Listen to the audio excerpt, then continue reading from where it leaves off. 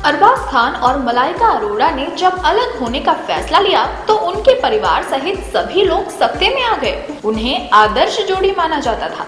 अलग होने के बाद भी वे कई पार्टियों में साथ दिखे, जिससे ये संभावना ज़िंदा रही कि वे कभी भी फिर साथ हो सकते हैं। लेकिन अब ये भी खत्म हो गई है। अरबाज की ज़िंदगी में नई लड़की आ गई है, और ये बात अरबाज ने स्वीकार भी कर ली है। येलो नामक लड़की से भी उनका नाम जोड़ा गया, लेकिन अरबाज का कहना है कि येलो तो उनकी दोस्त है, जो गोवा में रहती है और रेस्तरा चलाती है। अरबाज के अनुसार, वे एलेक्जेंड्रिया नामक लड़की के साथ डेटिंग कर रहे हैं।